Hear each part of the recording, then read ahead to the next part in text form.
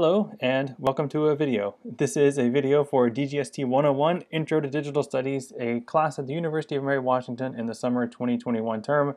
This is day two of week three of this five week class. This is actually Wednesday, even though day two is usually a Tuesday, but uh, this week day two is Wednesday because we had Monday off because of the holiday. So, students in this class, hello, hope you're doing well. Hope you are doing okay with the things that I uh, talked about yesterday in yesterday's video. Um, and those were mainly to play the video game Phone Story and to read the article "Your Phone Was Made by Slaves," which is a, which is an excerpt from a book by Kevin Bales. Um, I hope those things are going well. They seem to be going well. Those of you who've jumped in already in Discord and on Perusall. Um, today, I'm going to talk about the next set of things I'd like for you to look at and to continue thinking about as we um, explore our main theme this week, which has to do with the physical side of digital media objects. You learned about the four stages in the life cycle of a smartphone by playing four mini games within the game Phone Story. You also learned about coltan mining, which is part of that first stage in the article Your Phone Was Made by Slaves, and you talked about those things in Discord and Perusall. Uh, today, I'd like for you to focus on the second of those four stages as described by the game Phone Story, which has to do with the labor, and I'd like for you to learn some things about allegations of abuse at one of Apple's suppliers from a few years ago. Remember, your big project this week is the object lesson, and in this assignment, you're going to be choosing some electronic device, perhaps you already have.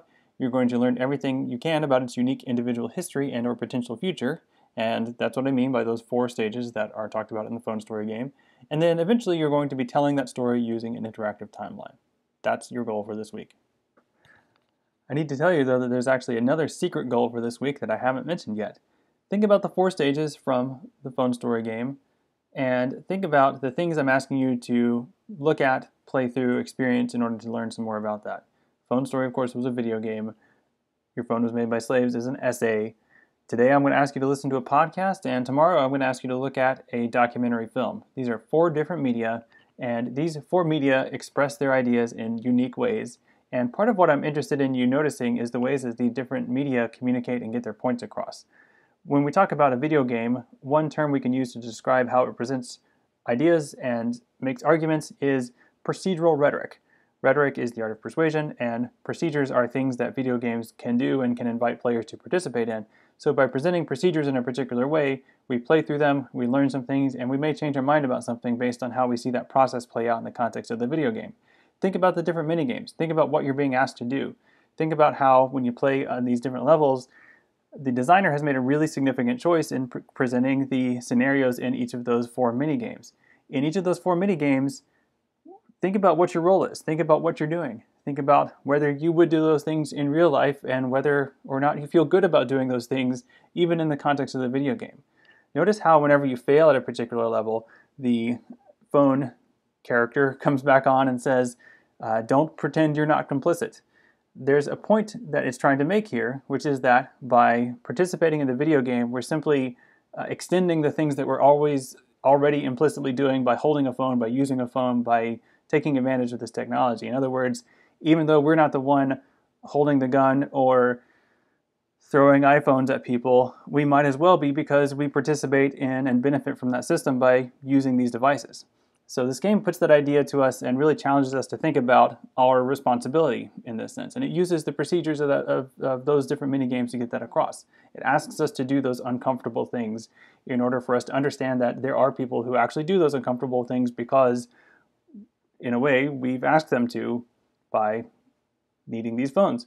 Um, think also about the essay. This is an essay by Kevin Bales. Think about how he presents his ideas. It's not just a straightforward list of facts or um, arguments with evidence, it's a series of vignettes and scenarios. Think of, notice how it starts with a, uh, a story about tombstones, and uh, there's an idea there. I think that all of us must die. All of us, all of us must think about our mortality. A tombstone is this inevitable thing at the end of our lives, and it's something that you know kind of anchors us. When we think about tombstones, we kind of think about ourselves and our own mortality, just inevitably.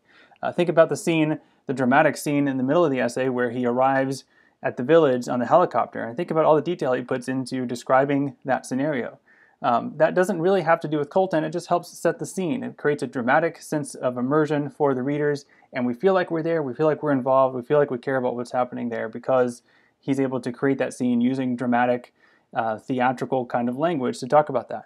That is an element of a, of a uh, a journalistic essay like the kind we're reading here, and it, I think really works in this case.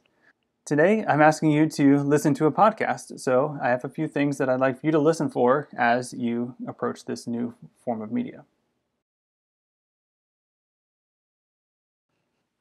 Now, a podcast, as you probably know, is a audio series usually, uh, usually spoken word, usually presented in serial form, usually nonfiction, but not always. And uh, these are pretty familiar and, and popular forms of, of media consumption today. Uh, audio only, uh, that's the modality. Um, briefly, the medium I would say here is a podcast or maybe the genre, and the modality is audio, meaning that we're, we're listening to it when we experience it. And uh, podcasts have been around for many years now, almost 20 years probably. I'm certainly no expert on podcasts, by the way, but I do listen to them. And as far as I know, the oldest podcast is open source, um, uh, hosted by Christopher Lydon. I, I, listen to that one occasionally. It's pretty good. Um, but there's lots of other ones out there. Many of them are fictional. Many of them are true crime. It's a very popular genre of podcast. Um, these are typically presented in a series, and so you listen to a series uh, of episodes over some time. Um, I've historically I've not always been a big podcast listener, but during the past couple years, um, for various reasons, I haven't been able to run as much as I'd like, and so I've been walking a lot instead. And as I've been walking, I find it's useful to listen to something so I'm not bored. I've been listening to a lot of audiobooks, but sometimes I run out of audiobooks, and so I listen to podcasts instead. And it's another good way to pass the time. It can be a really interesting and really compelling uh, form of media communication. And if you're really interested in podcasts, I recommend listening to some that are really uh, well produced and really well crafted as audio pieces. It's not just someone talking into a microphone. Uh, Radiolab is usually highly produced, for example. Uh, Snap Judgment is also usually really rich and complicated to listen to, and really you know interesting uh, and dynamic and, and, you know dramatic. Uh, this week and today, really, I'm assigning you to listen to an episode of a podcast called This American Life. It is also a radio show, so it is um, participates in both the medium of radio and of podcasts. And it is a usually a nonfiction, usually journalistic, hour-long radio show broadcast usually on NPR stations around the country. This American Life was originally just the radio show. It started in the 1990s and it is a weekly show hosted by Ira Glass. Ira Glass is the host, and that means he's usually not the one telling the story. Usually he invites uh, one or two or sometimes three or more storytellers to come in, and those are often journalists or producers. And there's typically a kind of essayistic style to the stories that you hear on this This American Life, uh, but oftentimes they are just straightforward investigative journalism, and they've been known for doing some really excellent work in that area. For today, I'm asking you to read one episode's transcript and listen to another episode. The episode that I'm asking you to read is unique or unusual because uh, you cannot actually listen to it. And you cannot actually listen to it because it has been retracted. And you'll find out why when you listen to the next episode.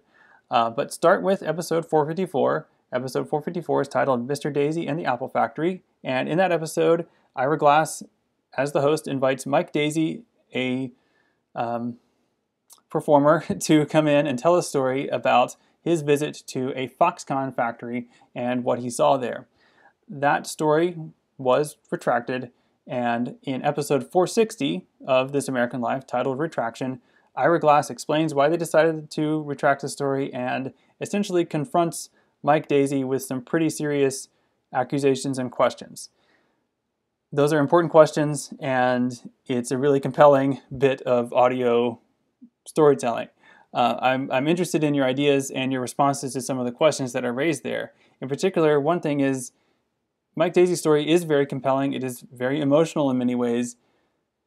Should we still find it as compelling as we might initially have once we learn that many of the details probably weren't actually true? How does that change our relationship to the things we take away from it? Uh, I think it changes it a lot, but we can listen to it. Mike Daisey does have he has a defense, and we can decide whether or not we we accept that uh, once we listen to it. But beyond that, I'm also really interested in how that episode 460 is edited. And so if you listen to it and you pay attention to how the different pieces are structured, there are a couple of really powerful moments in that episode that are incredibly awkward to listen to. And I really challenge you and urge you to listen to that episode instead of reading the transcript. I, I really, really encourage you to listen to it at regular speed instead of at, at fast speed. Um, also, some podcast apps let you skip silences or skip over silences. Don't do that. Um, listen to it at the regular speed because you really have to experience it to get the full force of the awkwardness because that's really some powerful audio storytelling, I think, and I think you should uh, embrace and, and listen to it. Daily tasks for week three, day two of this class. First of all, you should read episode number 454 of This American Life. It is titled Mr. Daisey and the Apple Factory, and you'll find it on the This American Life website, or I will link to it in the notes for today. You should also listen to episode number 460, which is titled Retraction. Next, I would like for you to reflect on those episodes and discuss them in Discord, or you could use your blog. Remember, Discord is great for short, snappy messages and quick, kind of immediate conversations, and your blog is a great place for longer thoughts and things where you want to provide examples and link to other things. So just keep that in mind. I think the conversation is getting a little bit quicker and, and more Discord like in Discord, and I appreciate that. But just remember, if you have more than a paragraph to say, then that's probably a blog post and not a Discord message. Um, some here are some specific questions you might want to try to answer, but of course you should feel open to discussing anything that occurs to you. Uh, the big question, I guess, is what do we do with Mike Daisey and his story? I mean, does the fact that he embellished some details mean that we should reject everything he says? Um, there is definitely a kernel of truth in what he's talking about, so what do we do with that kernel? Uh, or you could also look at it like, you know, this episode came out in 2012. What have we done, or what have people done with that information since then? That's something you could probably find out. Um, in the telling of this story, how do you feel about Mike Daisey? Do you sympathize with him at all? Um, maybe that doesn't matter, but at the end of episode 460, is he a sympathetic character? Or does he come across as more of a villain? Um, that's debatable. So, what do you think? Uh, and another kind of different question is you know, one of the most interesting moments in episode number 460 is the silence, and there is one moment in particular that's 13 seconds long of excruciating silence. Um, I'm just wondering, can you think of any other examples in media where there's a long or unexpected silence and it has a similar kind of jarring emotional effect? I can think of a couple, but you can probably think of more. So let's talk about them. When when has silence been used in a compelling way, and that you've noticed or that you can think of? Uh, and then finally, one more thing. This is uh, a bit of on your own research. So for this week, you are going to be working on an object lesson where you're going to choose an electronic device. If you have already chosen that object lesson, I mean, if you've already chosen that object for the object lesson, then I'd like for you to research its manufacturer's record on labor conditions and workers' rights. If you have not chosen an object yet, just use your smartphone or computer and see what you can find out about their manufacturer's records on labor conditions and workers' rights. For example, I just came across this. This is a 2019 statement, so I just Googled this and this is one of the first things that came up. I'm sure there are probably more recent statements than this, but this came out in 2019, and this is a statement by Apple, a report talking about their efforts to combat human trafficking and slavery in their business and supply chains. I haven't read this report, but it's only 14 pages long. I think there's probably some pretty interesting things in here, and I bet they are responding to some of the uh, issues raised by the kind of reporting or the kind of storytelling that we heard from Mike Daisey. So see if you can find anything like that for the manufacturers of your digital object. That's about it for today's video. Tomorrow you'll be learning about the fourth stage in the life cycle of an electronic object, and that's the phase where that object becomes e-waste or maybe gets recycled. I'll also spend some time on tomorrow's video talking about the object lesson assignments. Specifically, I want to give you some pointers on how to do the research for that project, or really investigation. It's more of an investigation than research. And I'll also explain how to use Timeline.js, which is the software I'd like for you to use to create the interactive timeline, which will be the final product of that project. So thanks for watching. If you have questions, I'll be online in Discord sporadically. If you see me online, feel free to say hi or send me a message if you have a question or just want to say hi. Uh, otherwise, I will see you in another video tomorrow and some other time online. Thanks. Bye.